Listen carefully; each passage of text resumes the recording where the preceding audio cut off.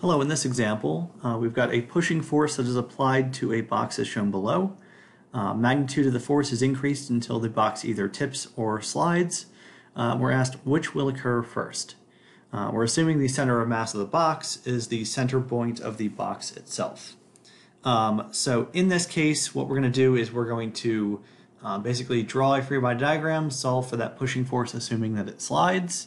Uh, we're going to do a second set of equations. We are going to draw the box, and assume the pushing force increases until it tips. Whichever is the lower pushing force is the one that's going to happen first. So we're going to start with slipping. Uh, and so for this, our free body diagram is going to be as follows. So we're going to have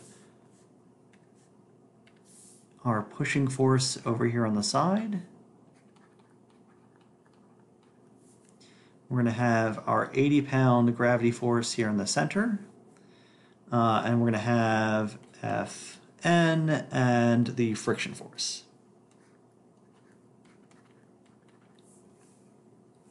Uh, in terms of key angles, uh, we're only going to be looking at the force equations in this case. Uh, all we're going to need is this 35 degree angle uh, additionally. So with that, let's go ahead and write out our equilibrium equations. So sum of forces in the x, it's going to be F push cosine 35 minus FF equals 0. In the y direction, so sum of forces in the y, I'm going to have Fn plus F push sine 35 minus 80 is equal to 0. Um, and then the last piece of this puzzle is going to be we're assuming slipping, so we're assuming impending motion. So FF is going to be equal to the coefficient of friction, 0.45, times the normal force. All right.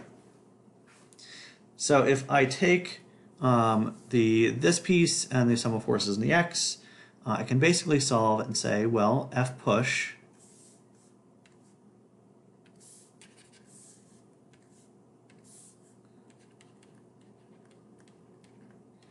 is going to be equal to 0.45 over cosine 35.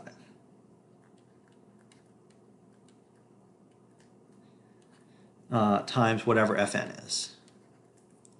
Uh, and so that's basically this piece here, uh, substituted in for ff, and then I divide by cosine 35. All right, so that can be substituted into the y equation, uh, and so I'm going to go to the next page now and do that. So if I have 0.45 over cosine 35 times Fn, that's getting in plugged in right here, or sorry, um, sine 3 is for F push, so times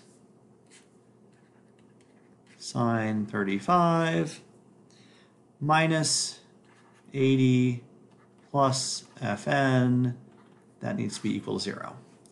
All right, so in this case, I've got one equation with one, one unknown. Uh, if I solve for Fn at this point, I'd wind up with Fn equals 60.83 pounds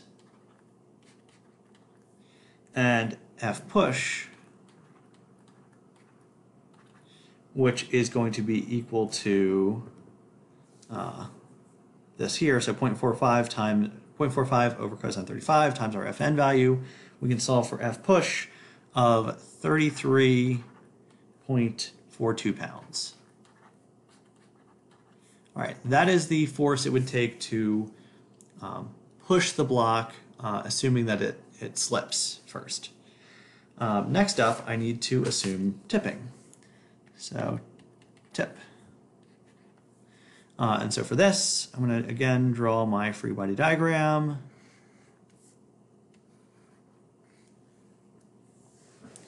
I'm going to have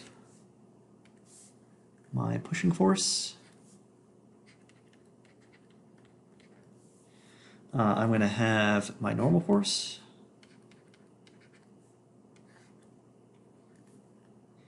my friction force and my 80 pounds for gravity force. Uh, key dimensions and angles in this case. So again, the 35 degrees. Um, it's going to be 0.5 feet to the center, 0.5 feet to the other edge, and the entire height is 3 feet.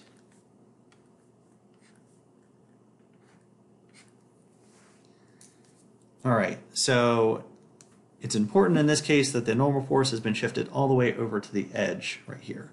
Uh, and so if I want to know what is the pushing force uh, needed to uh, cause this to tip, I only need to look at the moment equation really. Um, so let's go ahead and do that. We call this point A, and if I take the sum of moments about point A, um, I'm going to find that um, I'm going to have basically this pushing force. So I've got x and y components. We use Varignon's theorem to break that down. So F push uh, times the cosine of 35 is the x component.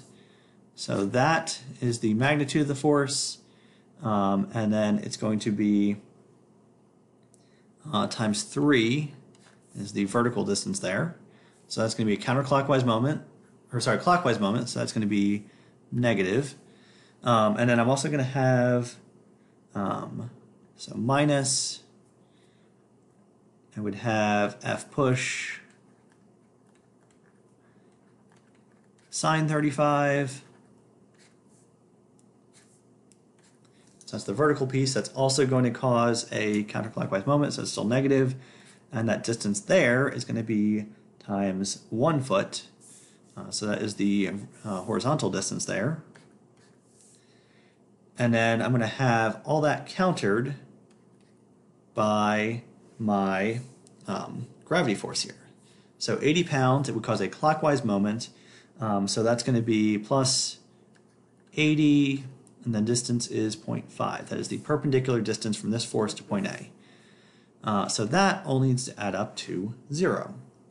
Um, so if I were to go about solving this, so f push is the only variable in there, uh, I would find f push, in this case, is going to be equal to 13.2 pounds. All right, so do some comparison. Uh, we see it would take 13.2 pounds to tip this body over, 33.42 pounds to slide the body. Uh, therefore, this is the lower amount. Uh, it's going to tip first. So tip first. All right, so that's all I have for this video example. Thank you for watching, and I hope to see you again.